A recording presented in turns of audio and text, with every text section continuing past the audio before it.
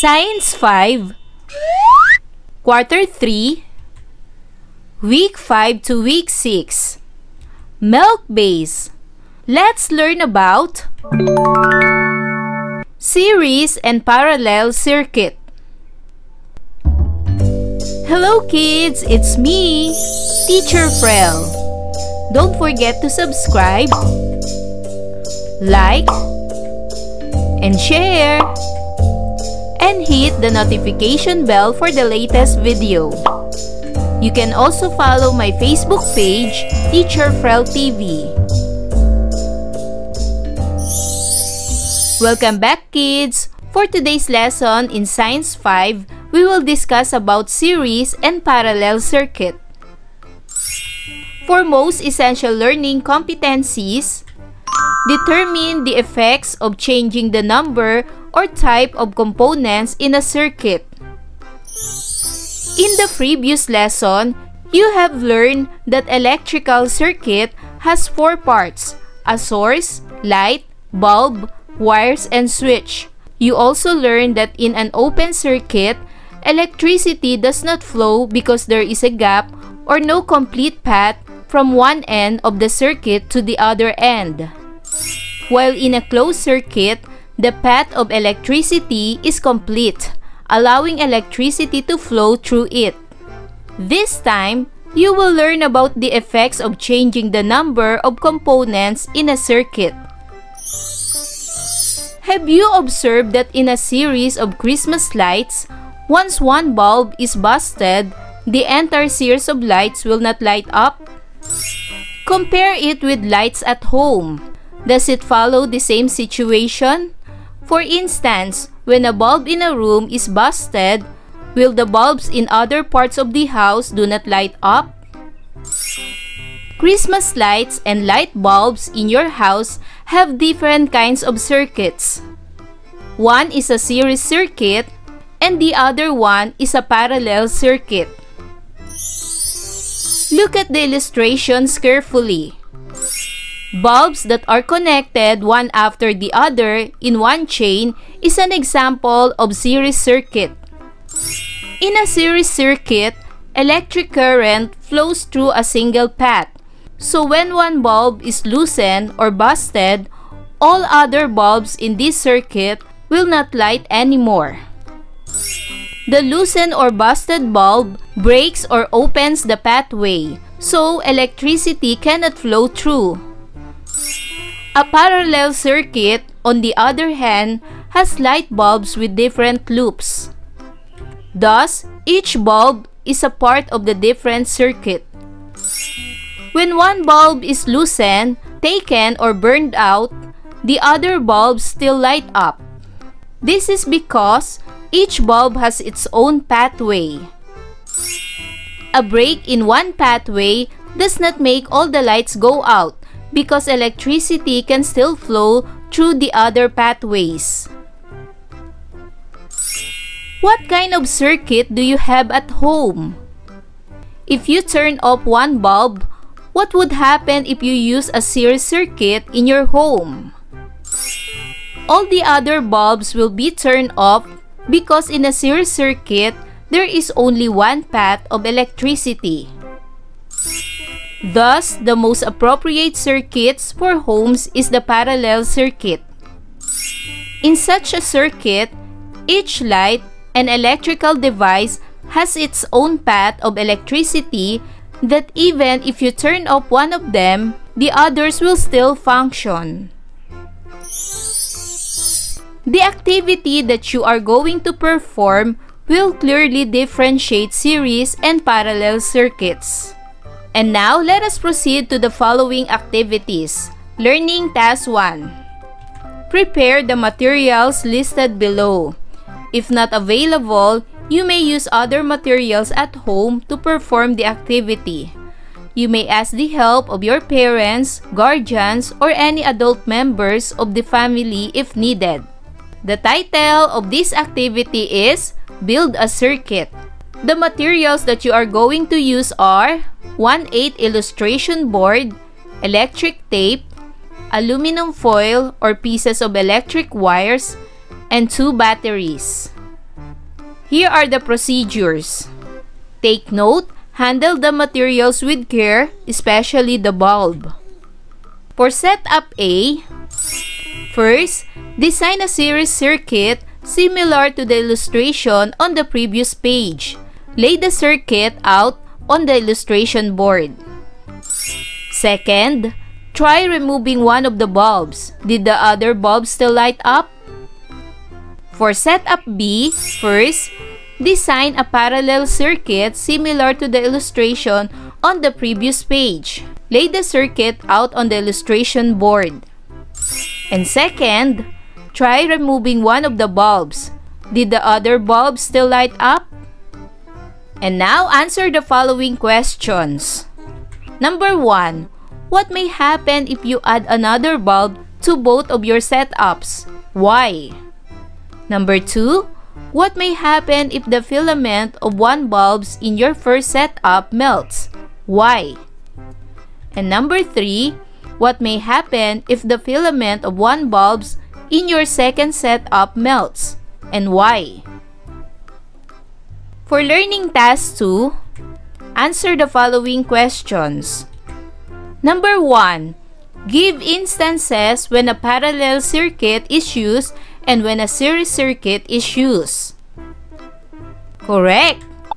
In a parallel circuit, each light and electrical device has its own path of electricity that even if you turn off one of them, the others will still function. In a series circuit, all the other bulbs will be turned off because there is only one path of electricity. Number 2. Give the advantages and disadvantages in using parallel or series circuit. In a parallel circuit, the advantages are First, if one of the bulbs is burnt, the other bulbs continues to shine. Next, parallel cells last longer. And each bulb receives the same voltage that is supplied by the electric source. In a parallel circuit, the disadvantages are the voltage does not increase or decrease if cells of the same type are connected in parallel. And the electric current in the circuit is the same even though more cells are connected in parallel. Now, in a series circuit, the advantages are current in all parts of the circuit is the same. This causes the bulbs to light up with the same brightness. The current in the circuit increases if more cells are connected. And all circuit components are controlled by one switch. The disadvantages are there is only one path for the flow of electric current. If a bulb or lamp is burnt, other bulbs will not light up. Cells in series do not last long. And if more bulbs are added, the resistance in the circuit increases, causing the electric current that flows to decrease. For learning task 3, draw a heart eyes emoji inside the box above each picture if it is an example of series circuit, and wow emoji if it is an example of parallel circuit. First, what do you think of this picture? Is it a series or a parallel circuit? Very good! This picture is a parallel circuit. So the answer is wow emoji. Next, what do you think of this picture? Is it a series or a parallel circuit? Very good. This is a parallel circuit, so the drawing is wow emoji. Third picture. What do you think of this? Is it a series or a parallel circuit? Very good. This is a series circuit, so the drawing is heart eye emoji. Fourth picture. What do you think of this picture? Is it a series or a parallel circuit? Very good. The correct answer is heart eye emoji. This is a series circuit.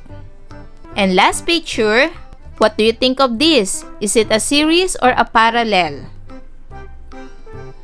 Very good. The correct answer is heart eye emoji. This is a series circuit. For learning task 4, draw an example of series and parallel circuit. Consider the rubric below in doing the task. For example, draw a series circuit and a parallel circuit.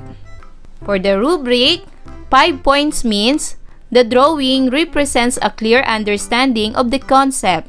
4 points means the drawing represents a somewhat clear understanding of the concept. 3 points means the drawing represents a quite clear understanding of the concept. 2 points means the drawing does not represent the concepts learned. And 1 point means the drawing lacks detail. For learning task 5, write a brief essay with at least 5 sentences on why it is important to carefully follow some safety precautions when using electricity. Consider the rubric below in doing the task. For a simulation, series circuit, electric current flows through a single pathway. Parallel circuit, a break in one pathway does not make all lights go out. And a route in which an electrical current can flow around. And for learning task 6, read each item carefully. Choose the letter of your answer. Number 1. Mary Ann noticed that a set of 10 bulbs in her Christmas tree lights did not light up when it was turned on. What could be a probable cause of this? A. Small wires are used. B. There are bulbs in the strand. C. Small bulbs are used. D. There is one defective bulb in the set. What is the correct answer? Very good. The correct answer is letter D. There is one defective bulb in the set. Number 2. What will happen to the other bulbs in a series connection when one bulb is removed? The other bulbs will A. Light B. Not light C. Have dim light D. Have bright light What is the correct answer? Very good. The correct answer is letter B. Not light. Number 3. What will happen to the other bulbs in a parallel connection when one bulb is removed? A. Few bulbs will light B. The other bulbs will still light. C. A few bulbs will no longer light. D. The other bulbs will no longer light. What is the correct answer? Very good. The correct answer is letter B. The other bulbs will still light. Number 4. Which of the following measures can prevent fire caused by electricity? A have a regular inspection of electrical cords. B. Avoid walking under low dangling wires. C. Touch a switch with dry hands. D. Do not leave socket empty. What is the correct answer? Very good. The correct answer is letter A. Have a regular inspection of electrical cords. And number 5 in a series connection, why do remaining bulbs not light up when one bulb is taken out of its holder? A. The other bulbs will not light. B. The other bulbs were burnt out. C. The path of electric current was renewed. D. The path of electric current became incomplete. What is the correct answer? Very good. The correct answer is letter D. The path of electric current became incomplete. Remember, in a series circuit, electric current flows through a single path. So when one bulb is loosened or busted, all the other bulbs in this circuit will not light anymore. A parallel circuit has light bulbs with different loops. Thus, each bulb is a part of the different circuit. When one bulb is loosened, taken or burned out, the other bulbs still light up. This is because each bulb has its own pathway. So kids, do you understand our lesson today? Wow! Good job! Kids, I hope you learn a lot from this lesson. Until our next topic, bye-bye kids! Thanks for watching!